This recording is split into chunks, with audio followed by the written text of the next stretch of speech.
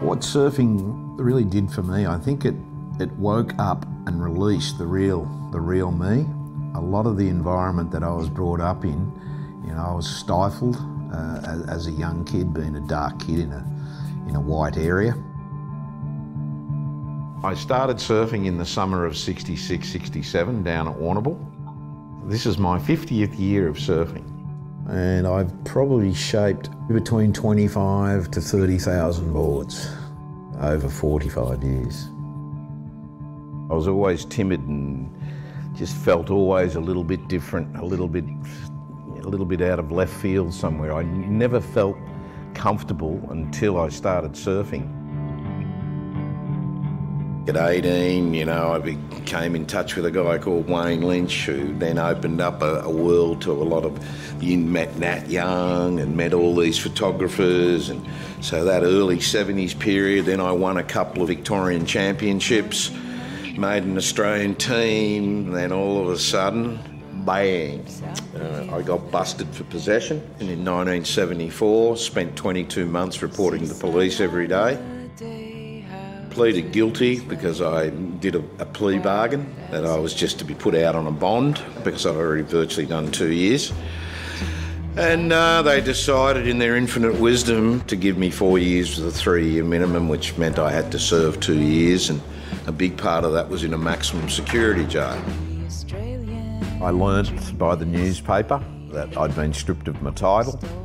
The effect it had on me was very, very, very negative.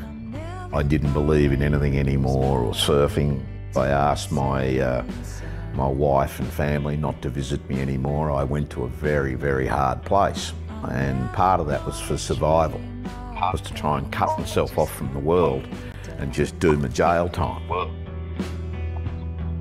I came out very vulnerable but very angry and probably pretty aggressive. You know, I'd back it up, you know, big time. I was diagnosed about eight years ago having uh, PTSD uh, and that I'd been carrying basically being depressed for, well, how long is that, 35 years, 40 years or something. So that in itself was a journey. And, you know, a lot of people go, oh, that's really heavy. And I go, yeah, but I made good friends. It showed me a, di a different side of life. And if anything, you know, I did turn that negative into a positive. It took a long time. It didn't wasn't just a year. Like when I came out, I was uh, pretty crazy to say the least. Like so, I was always carrying this very, very dark side with me, you know. And it's, you know, I still suffer from it now. You know, I live with depression. You know, everyone, ah, oh, it's just depression. You don't realise that it's a fight every day. I was a dark kid which meant until I was 12 years old, any dark kid in Australia was considered subhuman. They didn't have the right to vote, they weren't considered humans. So I subconsciously was carrying a lot of that. All of a sudden, surfing came along, and none of that mattered.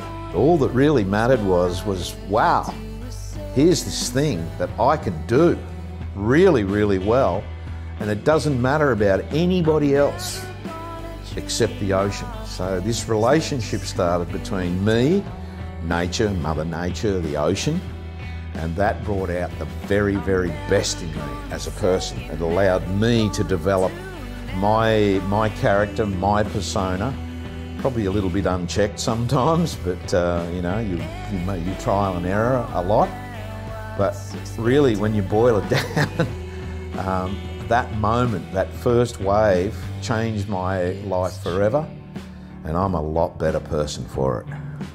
And I think people around me have learned to understand that some of my early years I was a very troubled person.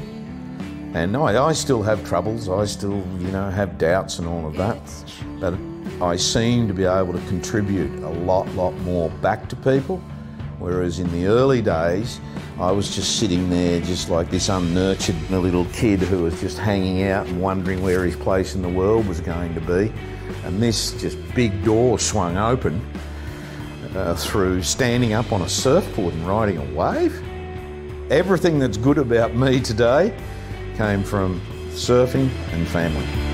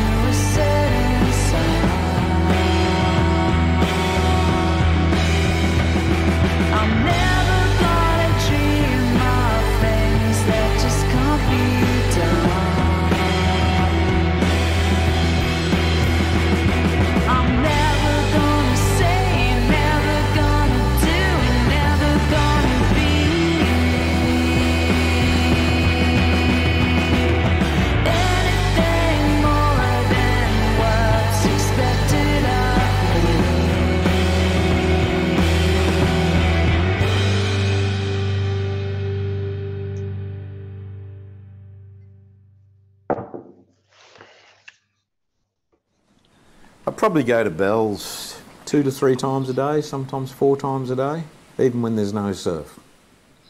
I like to think that the truth always comes through, and if you live live your life true to yourself, boy, surfing will look after you. And then if you if you if you get a bit cocky, and you think you you're greater than you are, well, just go in the ocean and you get your ass kicked. You know, you'll get bitch slapped by Mother Nature.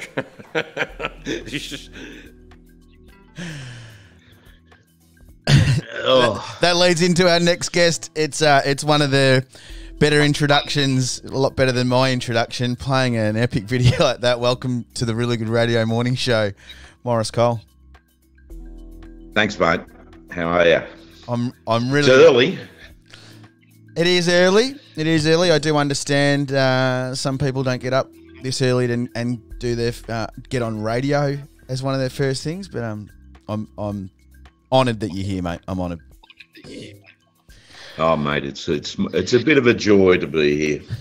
Let's mate, get some messaging out there. huh? Hey, um, I saw you smiling towards the end of that that watching that back, and you're wriggling around a little bit. I always, no one else can see that part, but what were you thinking when when that little wry smile comes on your face and you're looking at yourself? what were you thinking? It's it's it's actually a smile of joy. You know, it's it's realizing how far you've come, what you've gone through, dealing with what you've gone through. Like, just so you know, uh, you probably don't know this. I'll fill you in a little bit, and, and the people out there. Yeah, I got diagnosed with having cancer again for the third time, the day before Christmas last year. So instead of doing Christmas Day, I had to have a shot of these horrible hormones to try and stop this tumour, which is the third time I had it back. So it knocked me on my back most of January. Um, and I, it was a pretty fast growing tumour, anyhow. So mm. then the pandemic came along. Then I had some side reactions. Then I was locked up in home for a, about a month because I was having quite a lot of trouble. Uh, it looked like I was on the way out, and I'd sort of taken the decision that, you know what? Oh, I think I'm. I think I'm done. I, again, so I've, I've nearly died. I've added it up 19 times now. I've been dodging bullets for a long, literally sometimes, yeah. But really, what what happened was there was a bit of a miracle. Um, the tumour disappeared. I had some really bad physical side effects, which really incapacitated me, which thought I, I thought I was dying. But long story short, it just disappeared again. Wow. So it's really made me sit up. Just disappeared, you know, like the, with possibly with some hormones. I had a couple of miracles, just so everyone knows out there. I am a practicing Christian. Um, and uh, just a miracle happened. The bloody thing disappeared. So instead of looking at probably not being here in the next maybe couple of months, mm. looks like I've got 10 years, which was rather a, a really wake up when, when you look at the spectrum of my life and what I've been through. And all of a sudden, I find myself uh, uh, 11 weeks after I found out that I'd beat this cancer, Bells Beach came under threat again. They were trying mm. to develop Bells again. And, uh, and then I went, who are they?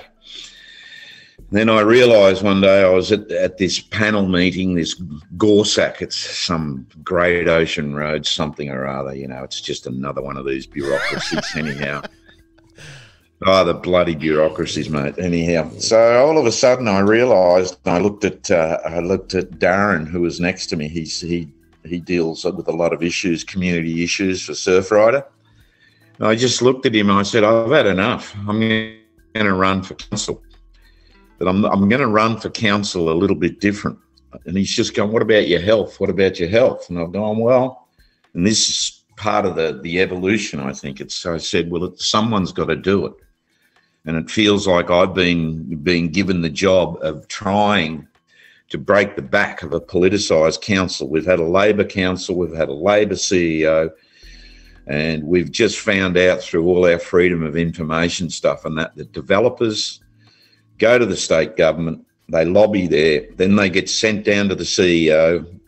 Then the council officers actually facilitate the developers. Then the report comes in for council to rubber stamp, and then there it is. It's just this corruption of process and system, you know, mm. by by the politicisation. So, in actual fact, us as a community, when I talk community, I sort of talk community. I'd like to think it's family too. Mm. That we've got no one to represent us. So what I did was I went and talked to a whole bunch of other candidates, and it looks like we might take council. And we're all of the same opinion. We need to get in there. We need to change. If we're going to change, let's change the world. Mm. Let's start Let's start by having this really unique sort of view and going, wow, imagine a council that actually work for the community first and foremost, and not their political masters, whether it be Liberal, Labor. They're, to me, they're all the same. They're, you know, they've got their they've got their pluses, but there's a hell of a lot of minuses that come along with it. And one of the things is is that we've had rampant development here on Surf Coast. Um, we've tracked it back now. We've, we've busted them. We've stood for council. We'll find out in about 10 days whether or not we've got a completely independent council with no political affiliations. Mm. We will then pick a like minded CEO. We'll then clean out some of the Surf Coast Shire offices that are part of a, an old political system mm. and bring back the council to the community where first and foremost we represent the community and we'll, we'll fight the state governments and the federal governments for the best deal we can get for the community. How about that for a how about that for a bit of weirdness, eh? Uh, anyhow, so you did. in amongst all of that, so I have to be honest and up front here. Um, hey, my health has suffered again. Uh, I've got some uh, some signs already that I'm under and you know i really don't know like if, if i get elected as a councillor i'm putting it out there i'm being totally honest i'm not sure my health will let me do it but mm-hmm. i'll give it a crack. But uh, you know i'm looking possibly looking at a fourth tumor and a few people have said you're mad you're crazy. And i just go well it's just not all about me Mm. It's about what I can do. It's about, you know, I've got grandkids, I've got kids, and it, it feels so much better to give than take. And that's something that has really resonated with me in the last, oh, 10, 15 years, you know, maybe 20 years. It's slowly been evolving inside me. So I've sort of, uh, yeah, that's an update with where I'm at today. You mentioned a little bit of that in your in that video about um about how you've started to understand that it's about giving back. Um, you're still doing a similar thing. You're still hitting the waves. You still love the surf, but you've turned it away from yourself. What was your some of your earlier years that you were you weren't like that? What what were they like? And um, you met a great guy in Wayne Lynch. You know, obviously Glenn Casey. Um, yeah, you knocked around with some great crew in the seventies.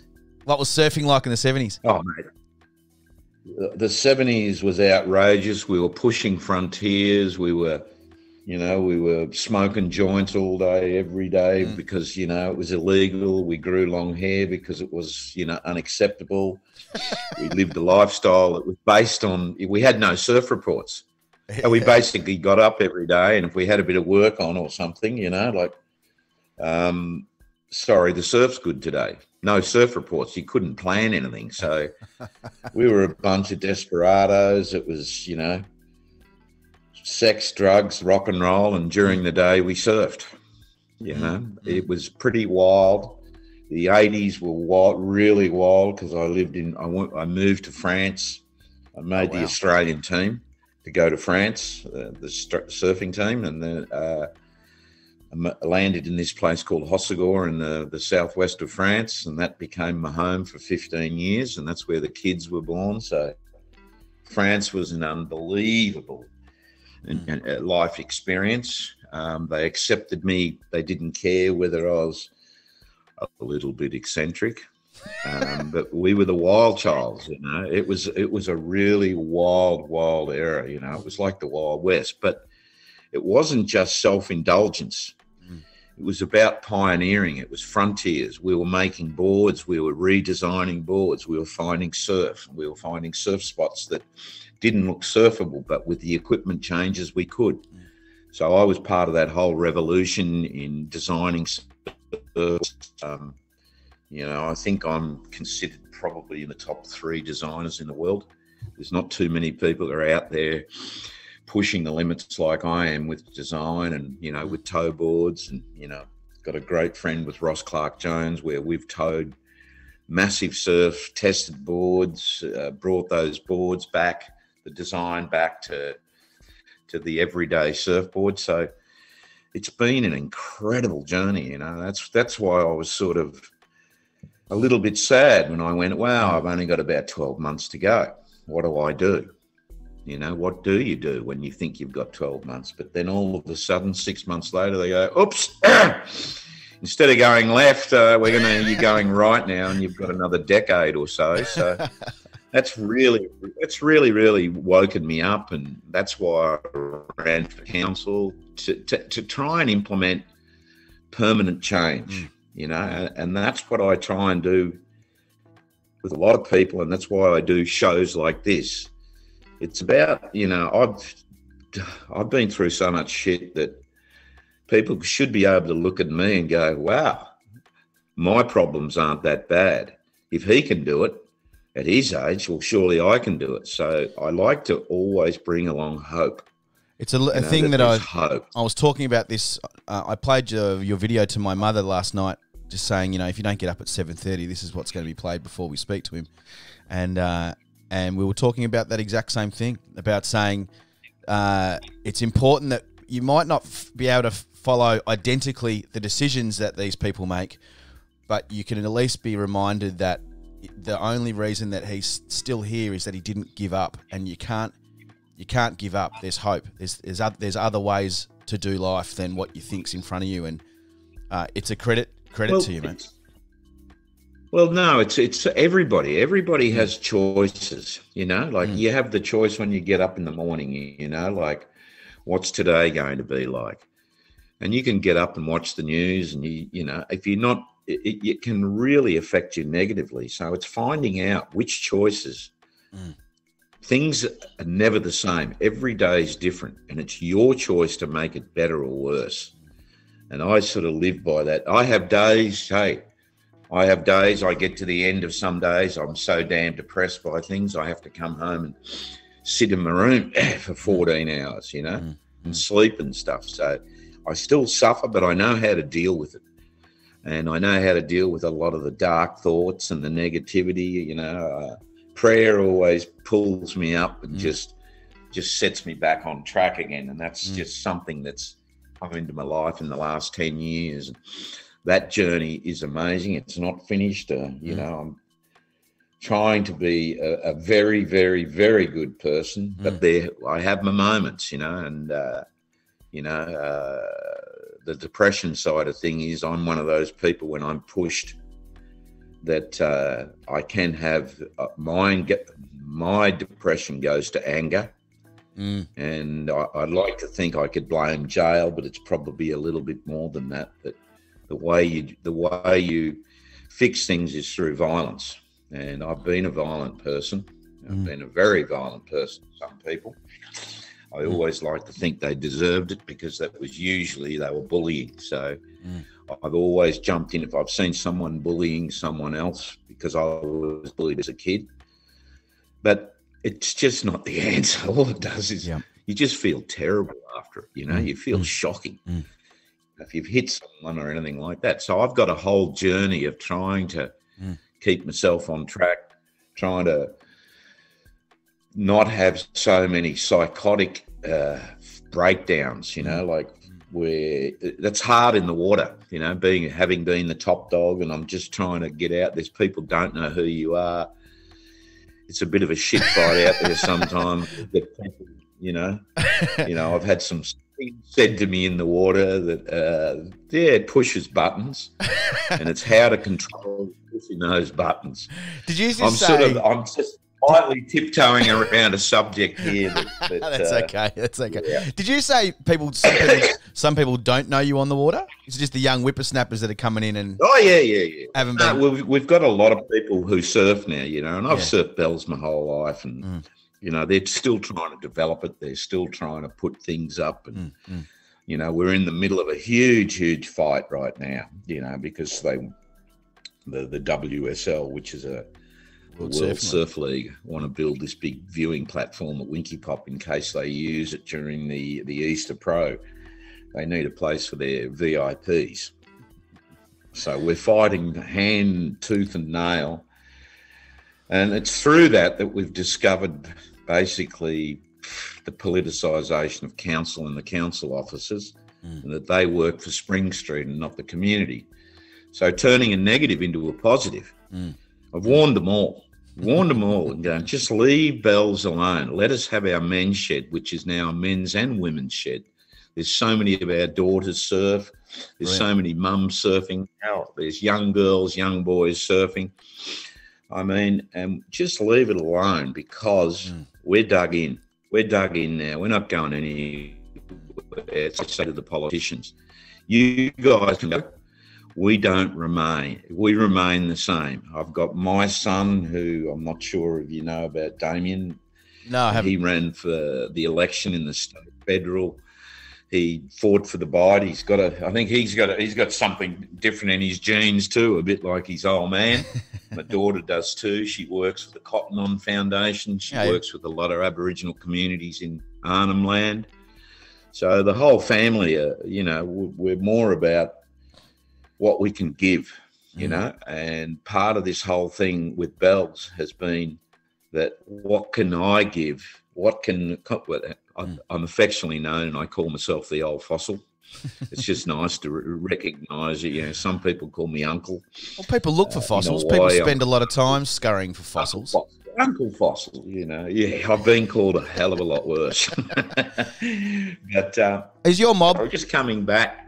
Is your mob up in? Huh? Up, is your mob up Darwin, up Alice Spring, Arnhem Land? Did you say? Uh, Where, where's your connection from? mate. Listen, listen. That whole thing is it's unresolved because there's Hmm. not enough strong enough DNA pool. But I finally found my mother after 30 years because I was adopted Right. uh, when I was a baby and um, adopted to a white family. But uh, as you can see, I don't really pass the Aryan German test, do I? Or the German Aryan test, uh, you know. So I finally met my mother, and she's this dark little lady, about five foot one. Uh, Wow. she's just so dark and, and just looks like me. So all we've been able to do is track down her father, Yeah. which we don't know who he is, and we've got a. a, a, a I mean, she's always been considered. She went to New Zealand a lot. She was taken as a Maori. You know, anywhere I travel, I can go anywhere, and I'm sort of got that chameleon look, except in Germany. I don't go down to the blondes and that. So I'm in I'm in a place. I'm in a really strange place, and um, uh, where I've got a lot of Aboriginal friends and Mm. elders, and I've always been attracted to that. And I think there's something naturally in there. But you know, I've been accepted by a lot of different mobs all around Mm. Australia. I've been pretty active in indigenous indigenous affairs. We're trying to hold an event next year. Um, the Australian Indigenous titles. That's still to come, but it looks like we're going to get backing Brilliant. and bring bring down and not just have a surfing contest, but have an arts festival. Mm. You know, we've got a lot to learn from Aboriginal culture. I'm still learning from a, some friends of mine Mm. Who uh, a good friend of mine. If you're out there, Gordon, he'll know who you are. But he's he actually helps. There's a there's there's a mob that live a thousand kilometres east, thousand mile east, thousand kilometres, something like that, of Kalgoorlie Okay. and th- they're they're untouched. And there's just been an there's just an amazing story about how the community still works out there. You know, Mm. they're still in their their natural their natural natural state. Mm, And what it sort of showed was, I get a little bit emotional when I talk about this because it's sort of um, it just amazes me. And we've got so much to learn from Aboriginal culture. And this is one of the things. Gordon was out there one time, and there's a community of 300.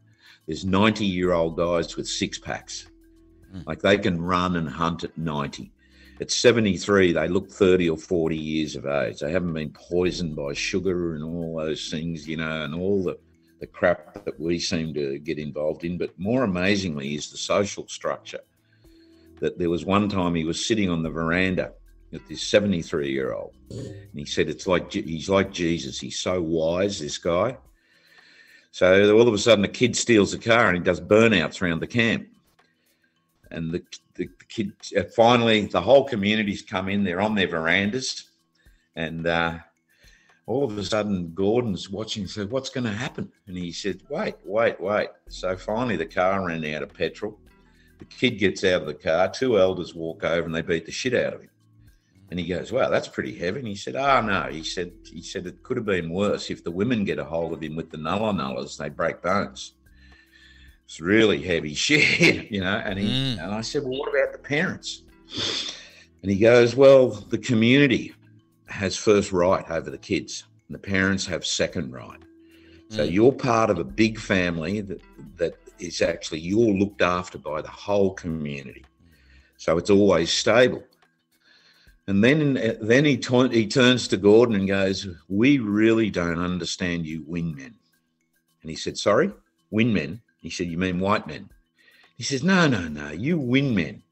He said, "Why do you have to win at everything? Everything you've got to win. You've got to be better than someone else. You've got to win all the time." And it's lessons like that that mm, make you mm. think, "Wow, community, family, you know, comes first." Mm. Oh wow, this whole you know, we used to call it keeping up with the Joneses. Now there's selfies, there's social media, Mm. and there's all the problems that come along with, oh, I've got to show you my best 10 seconds of the day and go on Instagram or Facebook or, you know, whatever you use, whatever social media you're using. Mm. So there's really important lessons, and that's why I, I've been really involved in trying to get this this contest up and going next year. And it's not going to be a contest. You know, we have a vision of, of just getting the kids down there, bringing them from all over Australia, Mm. And having an arts. I think it goes. We can do Tuesday till Friday. Then why don't we all do something and go to Melbourne and uh, join Longy in the march to the MCG? How would that be as a community and kids and get them buses and Mm. so it's being able to sort of visualize and conceptualize and outside the box a little bit. Um, and that's what I sort of bring because I've had so many different experiences in life. I've, you know, we we've had uh, we had an amazing thing about I think it was 20 years ago where when I was I used to be I love Hawaii. It's like a second home.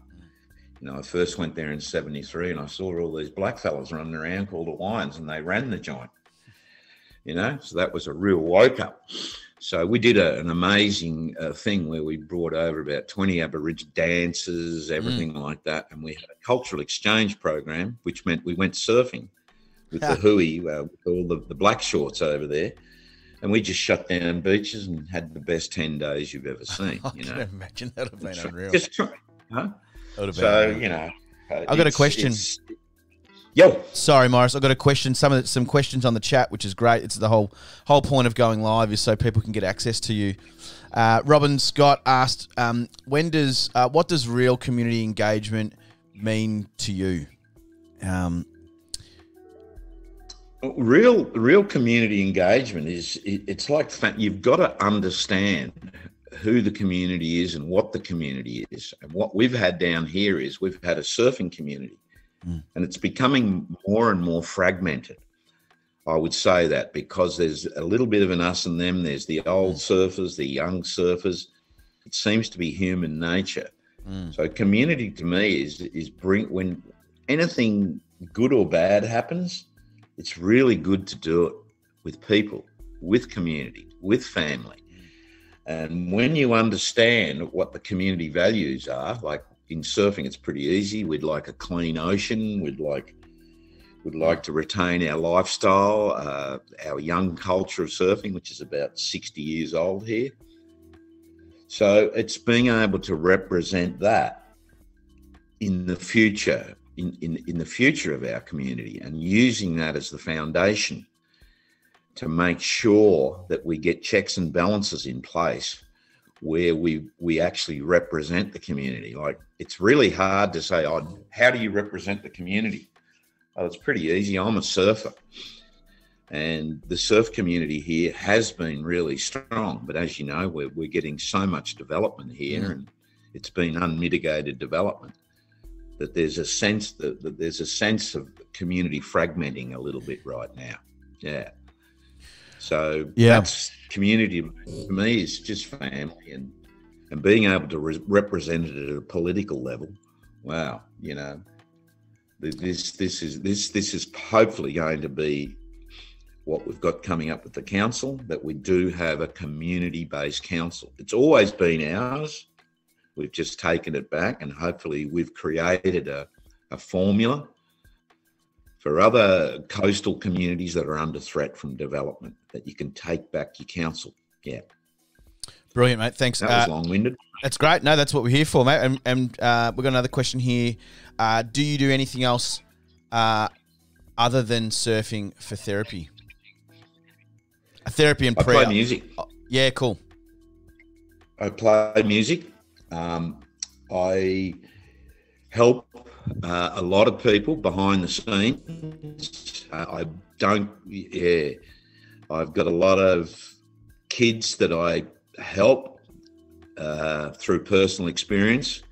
When they call me, everything else has failed, um, which means that, you know, I've got to go in there and and talk about drug addiction and, and talk about where what's your life about where are you going um, i I'm always open to interviews like this because it's not about really about me.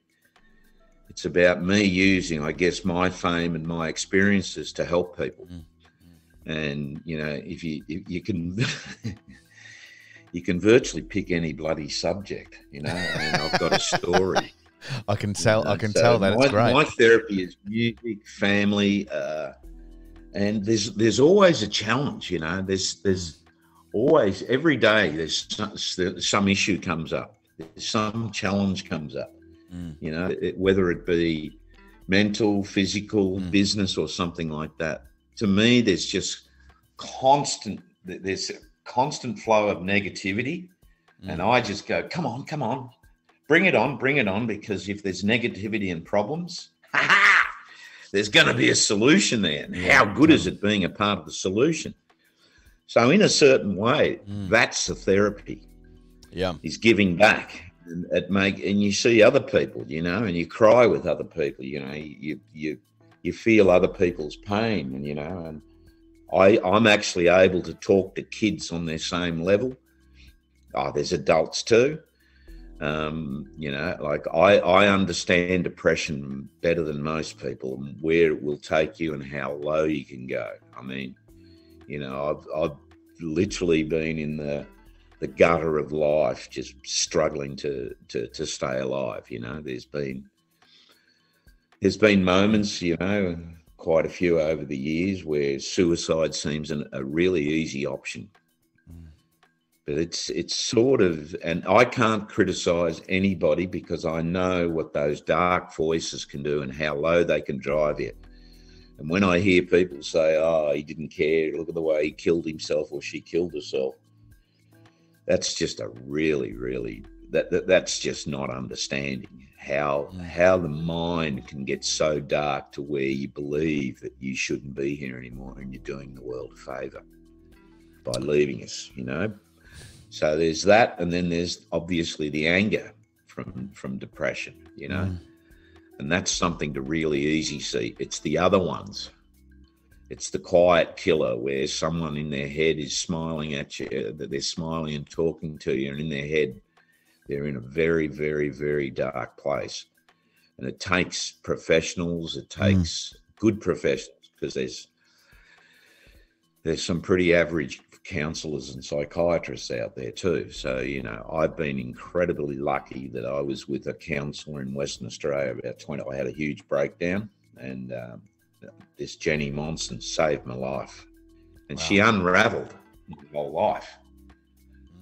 like down to a kid and the darkest thoughts. So we'd have a two-hour session every week for 22 months, and um, the first hour I would cry for an hour, cry for the kid, cry for all the pain I'd been through, and then the, the next hour was how to deal with it and rebuild.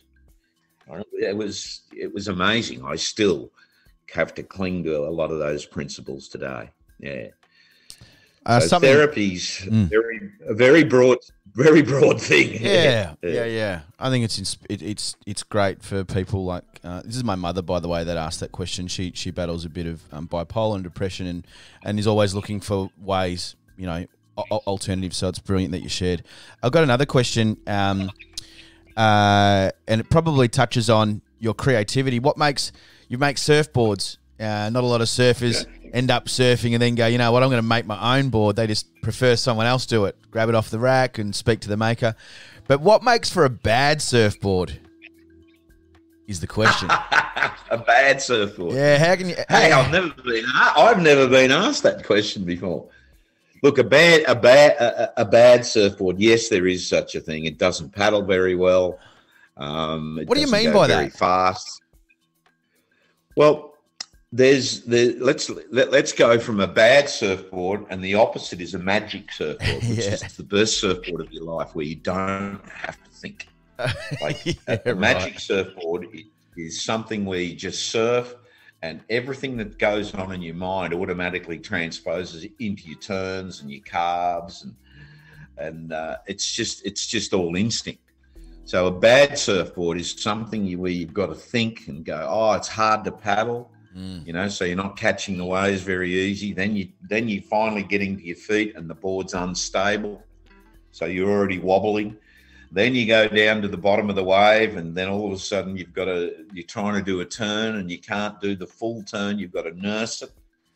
so everything that makes a magic surfboard, it fails that test. Bad surfboard you're never going to learn on, you're never going to progress. But in this day and age now, because all the shaping's been computerized, it's pretty hard to get a bad surfboard right. unless you were shaping it yourself off a blank and didn't have the experience to, to know what you're doing. Yeah.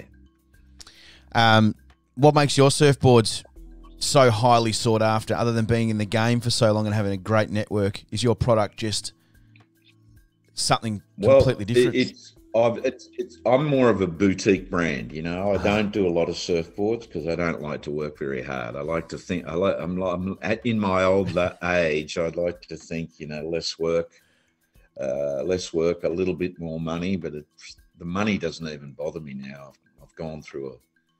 That's one of my biggest problems in life. Money doesn't mean much to me at all. When I need it, I get it. And uh, if, if I don't need a lot of money, well, maybe I won't work so hard. But part of what I there's something in me that a lot of people have been trying to work out for maybe 30 years is that I have I, I'm able to see ahead. I'm able to look mm. ahead and go, what is a surfboard going to look like in five years? mm. Excuse me. Anyhow, and I've always pushed the limits. I've lived on an I've lived on edge my whole life. I mean, in the old days, we had two speeds in a car: stop, flat out. We used to time ourselves, records. We used to drive like maniacs, live like maniacs. But also, there was the constant evolution of the surfboard from, say, the long, what we call logs now, the longboard, to the modern day surfboard. And I, I was really blessed to be at that age, at that place with certain shapers where I was actually able to grow. And I've always been able to conceptualize and visualize really easily anything in, on any subject. So I've, I've applied that to surfboards and I can actually see, I wake up in the middle of the night some nights and I see certain just weird mm. shapes and that. I watch a lot of sci fi because I love looking at all the spaceships. Mm. I like looking at the wing. I like looking at the designs and the curves of things. Um, I also like the technical side. I'm a Formula One freak. I follow Formula One like You know, uh, it's just I just love it because of the technical side. You know, how Right. having to put thousands and thousands of variables together. Yeah. So in between this experience and this gut feel, I I'm sort of futuristic and I go way beyond boundaries that most people have never been. You know, and I've been towing with Ross Clarke-Jones waves from 15 to 25 feet.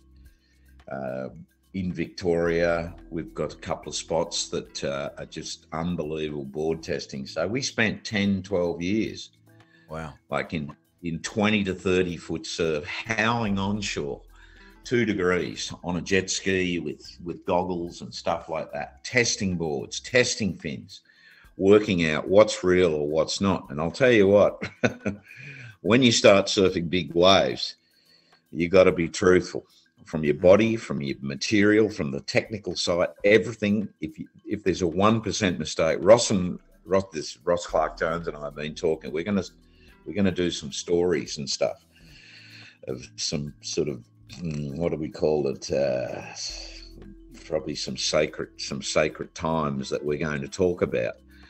And what that'll show people is is these lunatics going out in a storm that the wind's 80 kilometers an hour onshore. It's 20 to 20 foot plus, but the second wave's clean. right. So we'll go through the chop. Wow, this is five mil wetsuits and everything, and we, we're out there on the frontier, on the cutting edge, and we've just been talking it about lately. That you know, if we made a mistake, you're dead. I mean, there's no way out. If you make a mistake, you're dead. So when I design boards, um, and I've got Mm. all these different things I look at, boats and that, we went to deep concaves, and we went to a, a really a, a whole new type of surfboard being able to surf a, a small five foot 10 surfboard in 30 foot surf, 20 foot surf. So those times there, putting your life on the line, there's nothing better than coming out of a session and and having a board that all of a sudden was just it was just a, vision in my mind. It was just a you know, and all of a sudden I've tr- been able to transpose that into foam, and then we've got the right fins, everything. When when those days click, and you've worked really hard for six months every three days, just putting your life on the line, and then all of a sudden you come out of the water. There's that day, and I've got to.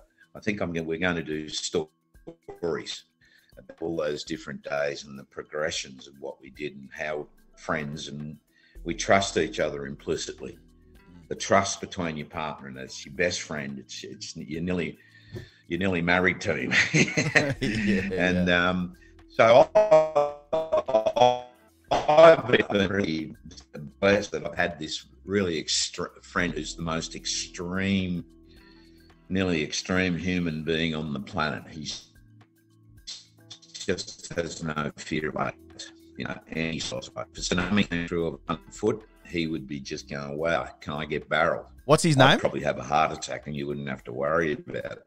But he's scared. Ross Clarke-Jones. Ross Clarke-Jones. No he's a renowned big wave, you know. Anyhow, he's won the Eddie anyhow. Anyhow, so he's a certified lunatic, and um, he has no fear of waves, but wow.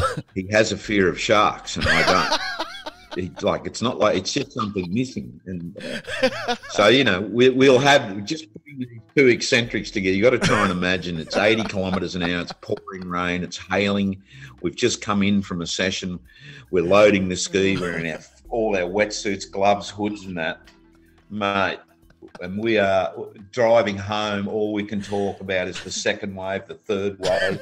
what about the back fin? You know, and so that's that's the creative the creative part, and that has I've got older now. You know, it's it's I'm trying at the moment. I'm I'm in at Kieser, and I'm trying to rebuild my body because uh, Ross was on Survivor last year, Right. and he hurt his leg. He broke uh, all the ligaments, so he hasn't been able to surf. So we're both. I think he's 53 or 54. I'll be 67 next year Wow. and I'm on this program, mate. I'm going towing next year. I've, I've got another design that I've just pulled through, and I've got some people testing, and it might be a it might be another world breakthrough. So I've I've had world breakthroughs before on, on design. So it's a it's a pretty complex thing, but it's just part of the DNA. And and uh, uh, if I didn't surf, I wouldn't shape. If I didn't shape, I probably wouldn't surf. Mm, you know, mm, mm. it's one of those things. That, you know, and that's why I've, I've got had some really bad physical stuff in the last twelve months, which is uh, you know I've really struggled to surf. Mm. And um, You got a very relaxed surfing style, Mor- Maurice. I don't know. I don't. I don't watch a lot of surfers, but seeing you, uh, you don't. Well, I don't know whether it's a later thing in life, but you're not really f- flicking your arms around like a wild man. You're just sitting on the back there, just just pushing that board along with your back foot. Ah, It- it's, it's- impressive. Well, it's sort of as you get older. I used to do all that other stuff. You know, I was a, a champion surfer, and Yeah. you know, Australian teams, and considered. You know, uh, I was at a, a at probably a oh no, not probably wasn't an elite level of surfing in France. Mm. You know, I sort of built a bit of a reputation as a tube rider there, any size, anywhere. So Wow. the surfing's always been incredibly strong, and that's what I've found in the last twelve months that the body started really succumbing to Mm. mentally and physical to to a lot of the adversity that I've been through. But the great news is today you're speaking to someone who's you know he's just put his life on the line again. It's sort of funny, you know, going for to be a counsellor and trying to get some real change, but. The, the way forward, I'm really excited about new designs. You know, I've got businesses in California and France and Japan and Brazil and Hawaii. And uh, I can't wait to get vaccinated and get out there again Oh mate, because that really is that's part of my family. My family, are, yeah, everyone I work with worldwide, I've known for thirty plus Mm, years, mm. you know, even longer. You know, so it's it's a it's a fan, and you know, I'm, I've never been so excited about the future. You know, about being able to help, being able to be, you know, the Uncle Fossil. And, uh, you I love it. Business stuff going on. Yeah. Yeah, you know, I've got some really, really amazing stuff to do in the next 10 years. And, you know, we've got a pandemic. Uh, a lot of people are really, really struggling with it. Mm. And uh, all I can say is, man, when you look at the rest of the world right now, we're an amazing job. There, there, we're, we're, there's nowhere else in the world you would rather be from a pandemic point of view. You know, I'm sitting here, I'm watching the Mm. rat. There's a bloody rabbit out there. There's a llama just ran by. There's, a, there's here, know, here come the ducks. Anyway, Are you I've- sure they're there, Maurice? Are they there or are they not there? I've got. There, yeah. I thought you might be seeing things. Hey Maurice, we've got to, we've I've got to um moved out in I've got to keep moving on with the show. You were very spot on when you said where do you want to start? How much how much time have you got? Because your life has been so full that Yeah, I, I feel like I've. I've robbed you of, of time. But um, I really appreciate your time, and I'm so thankful No, mate. you're here. You know, I just, just you know, like if, if people follow me in that, it, you know, even on Instagram and that, I do a little bit of business. Cool. But uh, you know, I just, I just thought I'd pull this one up and then with this. On Instagram the other day. I didn't hear that last bit. The internet just dropped out a it bit. is, it says healing. Okay, so just I'll leave you on this thing here. Okay? Go for it. I posted this other day on Instagram. Healing doesn't mean the damage never existed. It means that damage no longer controls our lives. Mm. Mm. Do you get that? I certainly do. Healing doesn't mean that damage never existed. You know, so we we're we're carrying a lot of damage. Mm. I'm carrying a lot of stuff, and it's working your way through where it doesn't control your life every day. Where if you have a dark moment, that you've got a process in place that you can go and talk to someone. Mm. You might have to have a pill. You might have to go home and go to sleep, but you actually have an action that gets you through that so that you're not a slave to your past and that you you, you don't develop victim you get that victim Yep. Yep. Yeah. We talk about it quite a bit, Maurice. Mentality, and that is a really. Yep. Yeah, we so do- that's why I thought I'd just leave you on that, and that's we've got a lot of that coming up. We need a lot of uncles standing by to help. Yeah, yeah. Maurice, I appreciate your time so much. It's been a pleasure to be able to spend the last 40 minutes with you and, and the listeners. No worries, mate. Anytime, anytime. Bring it back. We might Yeah. we might get you back when those I've- titles kick off. I've got some film. Oh, mate, uh, just, just so you know, I've got a, a book being written. I've got some a group of people in Hollywood in, um, in Malibu Okay. where we'll be doing a series on my life. It looks like, and uh, they were getting ready to sign off that this was the last chapter. But obviously, I think there think- might be a chapter or two left in the old fossil yet. I think you got a few more. Mate, it's a pleasure having you, Maurice. I appreciate it. And uh, we'll catch up with you soon. Thank you so much, Unk. Okay, mate. Thanks for having me on. You're more than welcome. Take care, everybody, and stay safe.